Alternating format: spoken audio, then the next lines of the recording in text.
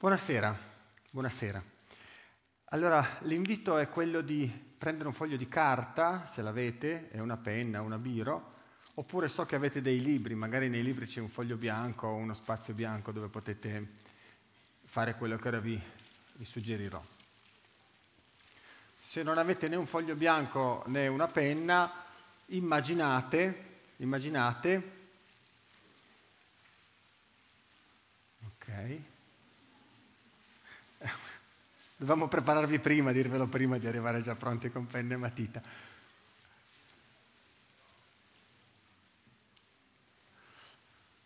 Ok, se ci siete, eh, tracciamo più o meno a metà del foglio, dove volete nel libro, una linea, appunto. Tracciamo una linea. Più o meno a metà del foglio, insomma. Ok? O immaginate con questo foglio bianco davanti a voi di tracciare una linea. Che cosa, che cosa abbiamo fatto? Abbiamo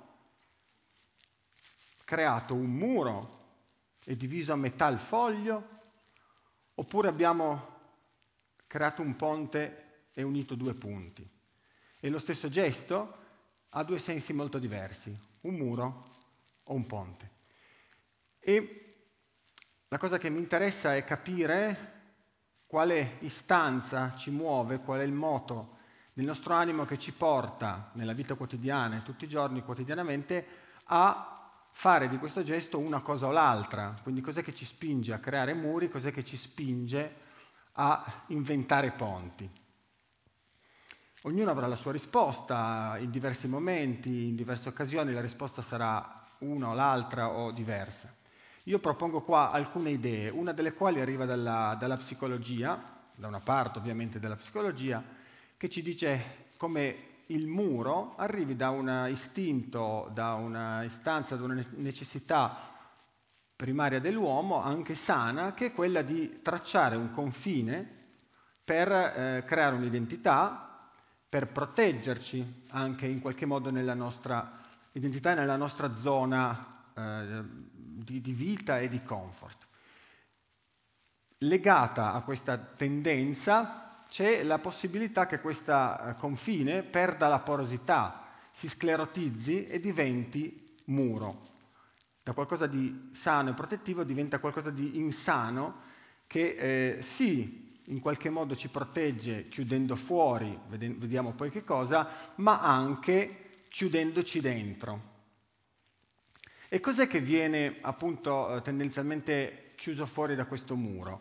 Eh, si può dire l'altro, si può dire il nemico, si può dire anche, e questo è sempre questo genere di psicologia che lo porta come suggerimento, viene chiuso fuori quelle parti di noi che non riusciamo a gestire, che non riusciamo a controllare, che ci fanno paura e che allora noi proiettiamo sull'altro fuori dal muro che ehm, facciamo finta in verità che siano fuori perché non sappiamo gestirle dentro di noi.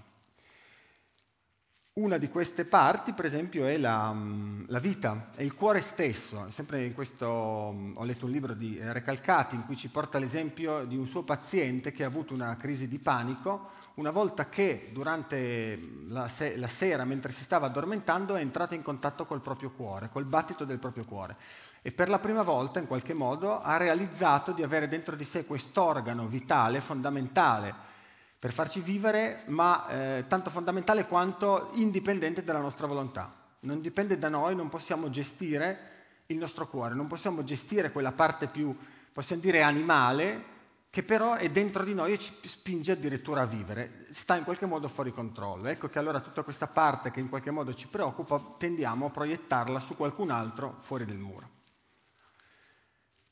Un altro aspetto che ci può ehm, portare a dividere il foglio a metà e quindi a dividere tutto in bianco e nero, è giusto e sbagliato, normale e non normale, e, mm, così, e, e naturalmente metterci sempre dalla parte del bianco, del giusto, del normale, e eh, ne ha parlato prima la, la, speaker prima di me, è una eh, tendenza a um, leggere, a semplificare la realtà che abbiamo davanti. Questa idea di dividere tutto in due e eh, facilmente ci rende più facile leggere la vita e la realtà che abbiamo di fronte. Una vita è una realtà molto più complessa che bianco e nero, molto più complessa che normale e non normale, ma facilmente eh, gestibile se divisa in due categorie così semplici. Anche il nostro agire sarà molto più semplice, perché nel momento in cui abbiamo giusto e sbagliato sarà facile agire. Come ci ha spiegato però prima di, noi, prima di me la, la speaker, è una, è una, piccola falsità, è una ipersemplificazione che complica invece in verità le relazioni e poi la gestione, la nostra relazione con la realtà. Dall'altra parte, cosa ci spinge a, eh, un, a, inventare un ponte? E soprattutto cosa ci spinge? Perché il ponte non basta che venga costruito, il ponte a differenza del muro che basta che sia costruito e già agisce separando, il ponte ha bisogno di essere costruito e poi di essere camminato, di essere agito in qualche modo. E potrebbe essere la, eh, la, la nostra necessità di libertà, di esplorazione, no? di andare a vedere cosa c'è dall'altra parte. E un po' questo, almeno io sono stato spinto a creare questi ponti e poi camminarli da questo eh, bisogno di libertà e di ricerca. Posso dirvi che camminare questi ponti fa una paura micidiale. Costruirli non tanto, è complicato, è complesso, ma camminarli fa molta paura. Perché fa paura? Beh, perché intanto dobbiamo lasciare indietro un terreno conosciuto, stabile, solido, per avventurarci lungo un terreno ignoto, sconosciuto, tendenzialmente rischioso, perché in qualche modo la nostra identità che, che, è, che, è, qua viene lasciata indietro nel momento in cui io cammino sul cavo. E questa è una piccola morte, quindi la paura che sta in qualche modo dietro a camminare un ponte forse può essere una, un eco della paura di morire che è anche eh, quella di trasformarci nel momento di una trasformazione che poi possa essere giudicata positiva o meno, se ha senso giudicarla positivamente o meno, e comunque implica un lasciare indietro quello che eravamo. E ritornando alla metafora di prima, se io fa, cammino un ponte per superare un muro, vado a trovare quelle parti di me che, dalla, che ho chiuso fuori, che ho messo dall'altra parte, che sono incontrollabili, che mi facevano paura, che non sapevo gestire. E devo essere disposto ad andare di là a vedere un po' e soprattutto a accettare che sono parti di me. Ora io sul cavo ho capito subito che certi aspetti incontrollabili non potevo appunto controllarli, non potevo minimamente pensare di dominarli, ma a volte mi chiedono come fai a vincere la paura. No, non la vinco, cioè ha già vinto la paura, ma ben prima, di, prima che iniziasse a camminare sul cavo non c'è verso, non è la mia strada quella di combattere la paura o combattere il vuoto, questi vuoti così enormi. No? Allora l'alternativa può essere Quale, quale, può essere l'alternativa di relazione? Non pensare a una lotta eh, un mano a mano eh, con la paura, ma piuttosto l'accoglienza, accogliere la paura. Tanto che a un certo momento eh, reputo, la definisco un'opportunità, la paura, io ho l'opportunità di essere spaventato, l'opportunità di vivere anche questo aspetto della mia esistenza. No? Sul cavo un po' più facile più sul cavo che nella vita, però più o meno è la stessa roba. Può, anche nella vita si può considerare la paura come un'opportunità e darci l'opportunità di viverla e di essere spaventati. Con questa dinamica dell'accoglienza cosa succede? Che noi accogliamo quelle parti di noi che avevamo chiuso fuori. Il cuore, la vita che pulsa e, e tutte quelle parti che apparentemente che sono realmente incontrollabili, ma a cui possiamo affidarci, perché il cuore non è controllabile, ma per fortuna ci affidiamo e continua a battere, continua a portarci avanti nella vita.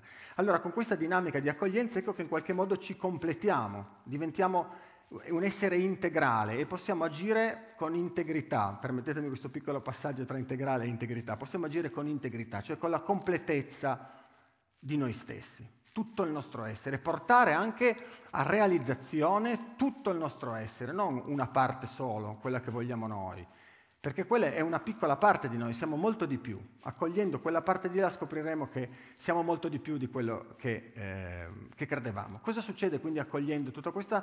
Acquisiamo quella che secondo me è la libertà più grande che abbiamo, che è quella di essere esattamente come siamo e di amarci per come siamo. Questa è la libertà, di essere come siamo e va bene così. Quindi questo, il ponte ecco che forse sì arriva da questa necessità, bisogno di libertà, di essere. Quindi concludo l'invito per tutti, per me per primo è quello di far sì che le linee curve, come ci è stato detto, che sono anche belle le, la linea curva, che tracceremo nella nostra vita, cerchiamo di far sì che siano ponti che portano verso la libertà e non muri che ci chiudono dentro. Grazie.